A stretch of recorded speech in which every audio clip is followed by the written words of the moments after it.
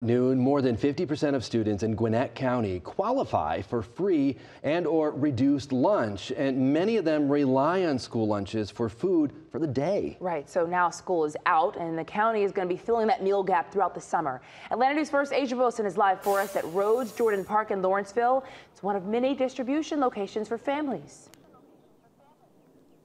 Yeah, you're exactly right. Rhodes Jordan Park is one of 20 locations where people can get shelf stable food every day of the week. And you see it here chicken tenders, Pop Tarts. You can get that from 11 until 1. And we've been seeing uh, people come through already today. Now, the Gwinnett Summer Meals Program kicked off yesterday and will run until August 2nd. There are 20 locations throughout the county, spanning from Buford to Snellville, Duluth, all over.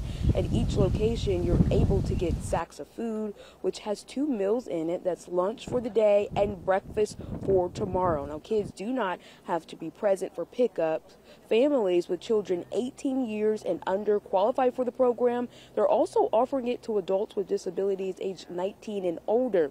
The director for the Gwinnett County Parks and Rec says this program is beneficial to so many families, adding that during the school year, more than 50% of students in the county qualify for free and reduced lunch.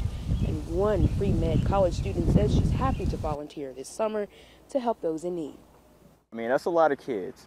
And so when you're not, when those kids are getting those free meals at school and now school's out, that may have been one of the only places they were getting a meal. So we're just trying to fill that meal gap uh, the best way we can. So to actually give the food to people and see their reactions for the first time is actually going to be, I don't know, fulfilling. Now, officials say they will also offer these meals on county holidays like Juneteenth and July 4th.